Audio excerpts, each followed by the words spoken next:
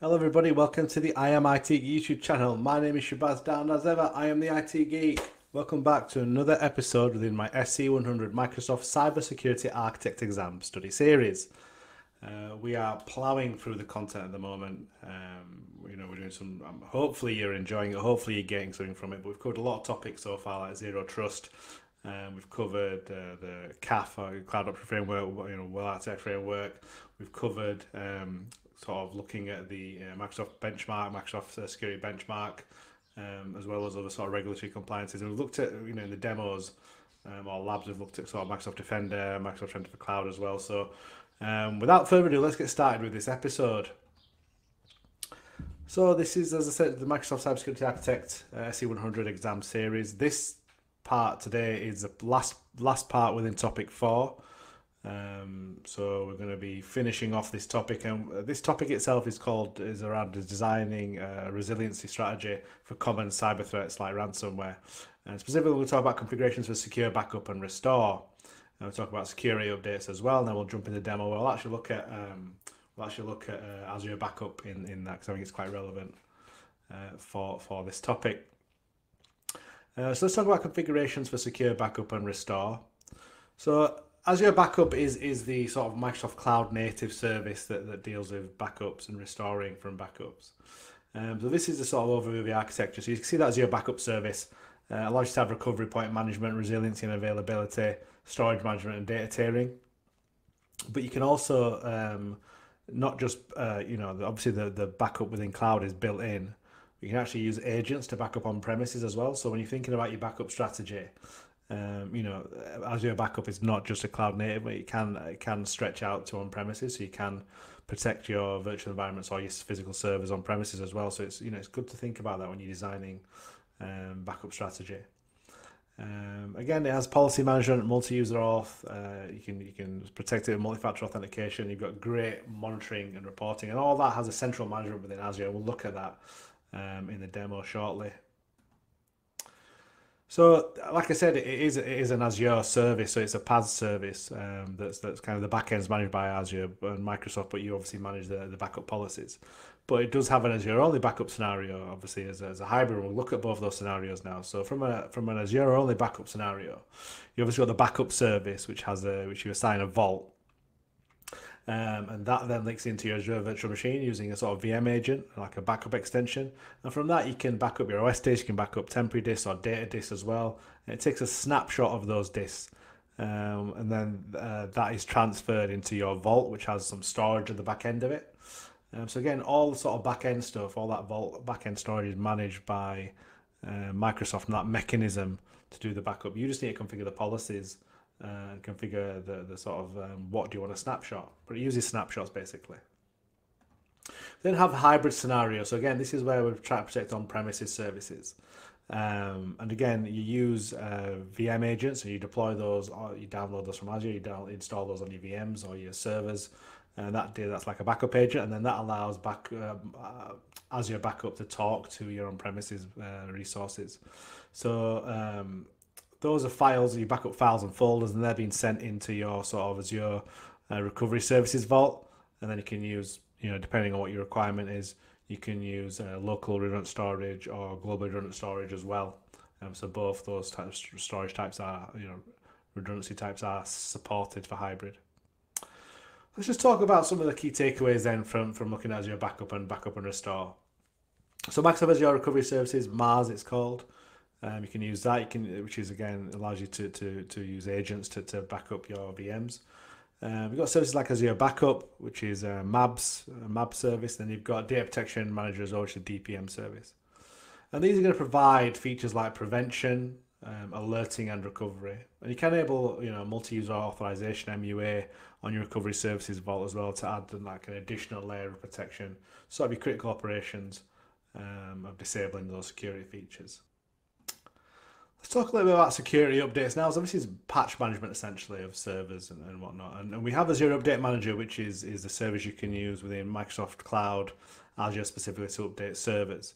And here we show an overview of the architecture. So we've got the sort of, um, see there, the, the numbering there, and so the green number one there, which is kind of um, looking at report status and, and sort of um, the the reviewing update assessment, defining deployment schedule, and, and sort of reviewing update deployment status. That then sends information, obviously scripts and whatnot, to your sort of Azure automation account, and that's obviously linked to your log analytics agent at VM extension as well. But then we have um, so step one and two there. We have step three, which is to check for maintenance windows and deployment.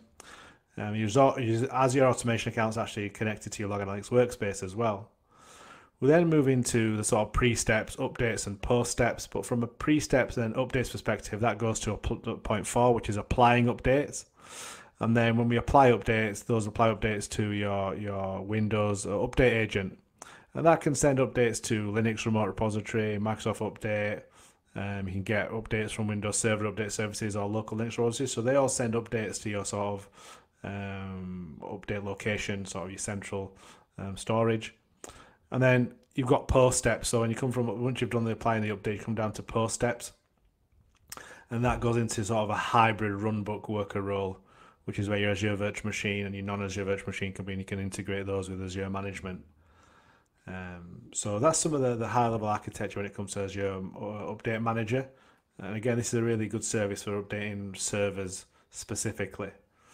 Um, so just some key takeaways around Azure Update Manager.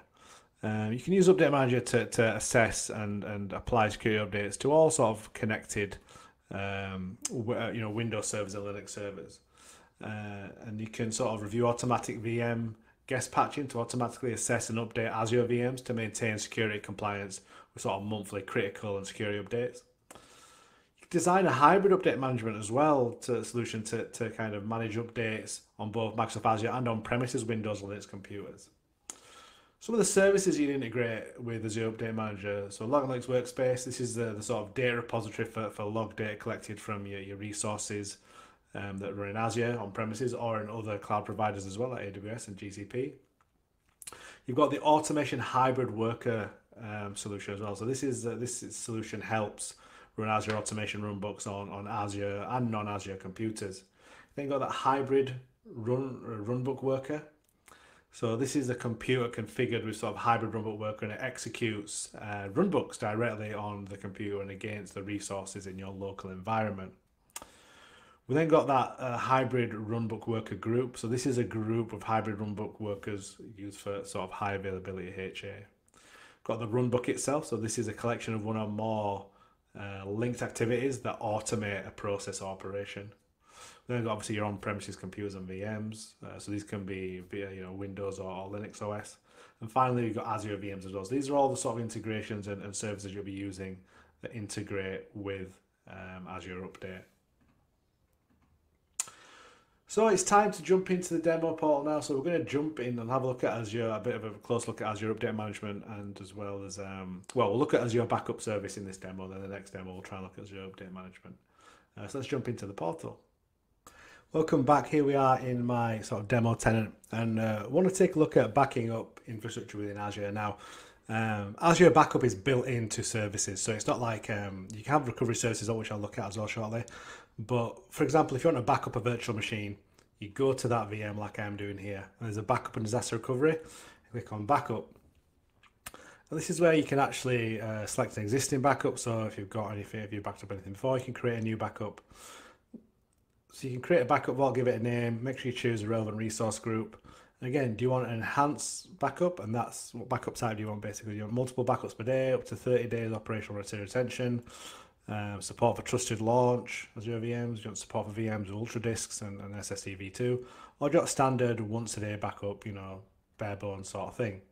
Once you've selected that, again, depending on what you select, you then choose a backup policy. So you can edit this policy. So if you edit the policy, we can basically choose the backup schedule, look at the date, the retention ranges, and do we want weekly backup points? Do we want potentially monthly backup points and yearly? So you can do that sort of child, father, grandfather sort of um, selection.